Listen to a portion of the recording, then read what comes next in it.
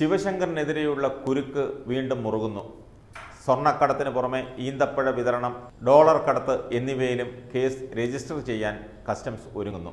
മൂന്ന് സംഭവങ്ങളുടെയും പരസ്പര ബന്ധം അന്വേഷണ സംഘം കണ്ടെത്തി. മുഖ്യമന്ത്രിയുടെ മുൻ പ്രിൻസിപ്പൽ സെക്രട്ടറി എം ശിവശങ്കറിനെ നാളെ ചോദ്യം ചെയ്യുന്നതോടെ ഇക്കാര്യത്തിൽ തീരുമാനമാകും.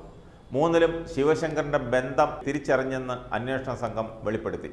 കഴിഞ്ഞ വെള്ളി ശനി ദിവസങ്ങളിലെ ചോദ്യം ചെയ്യലിൽ കസ്റ്റംസ് ഉന്നയിച്ച പല ചോദ്യത്തിനും ശിവശങ്കറിന് വ്യക്തമായ മറുപടി ഉണ്ടായിരുന്നില്ല. ഇതേ സമയം തന്നെ സ്വപ്ന സുരേഷ് പി എസ് സരിത് എന്നിവരെ ജയിലിൽ വെച്ചും ചോദ്യം ചെയ്തിരുന്നു. ശിവശങ്കറിന്റെ പങ്ക് വെളിപ്പെടുത്തുന്ന മൊഴികളാണ് ഇവർ നൽകിയത്. പക്ഷേ ശിവശങ്കർ എല്ലാം നിഷേധിക്കുകയും ചെയ്തു.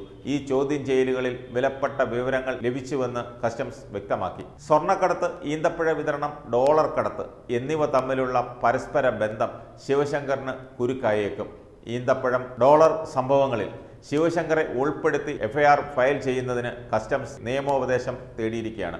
ഈന്തപ്പഴം എത്തിക്കാനും വിതരണം ചെയ്യാനും യു എ ഇ കോൺസുലേറ്റ് വിദേശകാര്യ മന്ത്രാലയത്തിന്റെ അനുമതി വാങ്ങിയതിന് രേഖകളില്ല.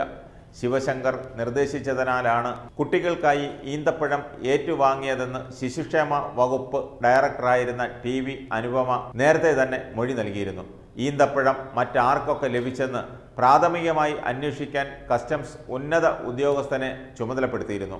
ഇദ്ദേഹത്തിന്റെ റിപ്പോർട്ടാണ് കേസെടുക്കുന്നതിലേക്ക് കൊണ്ടെത്തിക്കുന്നത്. പക്ഷേ ഖുറാനുകൾ കൊണ്ടുവന്ന സംഭവത്തിൽ കേസ് ഉണ്ടാകാനും ഇടയില്ല.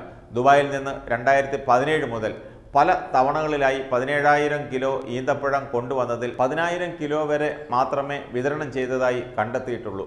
ബാക്കിക്ക് കണക്കുമില്ല രേഖകളുമില്ല. ഈന്തപ്പഴത്തിനോടൊപ്പം സ്വർണവും കടത്തി എന്നാണ് സംശയം. പ്രതികൾ കള്ളക്കടത്ത് തൊഴിലാക്കിയവരാണ്. എന്തിലും ഏതിലും കള്ളക്കടത്തിനുള്ള സാധ്യത തിരയുന്ന പ്രതികൾ ഈന്തപ്പഴം കൊണ്ടുവന്നതും സ്വർണക്കടത്ത് ലക്ഷ്യമിട്ടെന്നാണ് കസ്റ്റംസിന്റെ വിലയിരുത്തൽ. ഇടപാടുകൾക്ക് ലഭിച്ച കമ്മീഷൻ ഡോളറാക്കി വിദേശത്തേക്ക് കടത്തിയ സംഭവത്തിലും ശിവശങ്കറിന്റെ സഹായം ലഭിച്ചിരുന്നുവെന്നാണ് സ്വപ്ന സരിത്ത് ബാങ്ക് മാനേജർ എന്നിവരുടെ മൊഴിയിൽ പറയുന്നത്. സുരക്ഷിത നിക്ഷേപമെന്ന നിലയിലാണ് ഡോളറാക്കി കടത്തിയത്. കോൺസുലേറ്റിൽ ചീഫ് അക്കൗണ്ടന്റായിരുന്ന ഈജിപ്ഷ്യൻ പൗരൻ കാലിദാണ് ഡോളർ കടത്തിയതെന്ന് പ്രതികൾ പറയുന്നു. വൻതുക ഡോളറാക്കാൻ ശിവശങ്കർ സ്വാധീനം ചെലുത്തിയെന്നും പ്രതികൾ സമ്മതിച്ചിട്ടുണ്ട്. ഈ സാഹചര്യത്തിലാണ് ഡോളർ കടത്ത് മറ്റൊരു കേസായി രജിസ്റ്റർ ചെയ്യാൻ അന്വേഷണ സംഘം ആലോചിക്കുന്നത്. കസ്റ്റംസ് കേസിൽ സ്വപ്നയ്ക്കും സരിത്തിനുമെതിരെ കൊഫോപേസ ചുമത്തുന്നത് എൻ ഐ എ കേസിൽ തിരിച്ചടിയാകുമെന്ന് ആശങ്കയുണ്ട്. പ്രതികൾ സ്ഥിരം കള്ളക്കടത്തുകാരാണെന്ന വാദം പരിഗണിച്ചാണ് ജസ്റ്റിസ് പാനൽ കൊഫേപോസ അനുവദിച്ചത്. ഇതോടെ പ്രതികളെ ഒരു വർഷം വരെ കരുതൽ തടങ്കൽ വയ്ക്കുന്നതിനും കസ്റ്റംസിനാകും.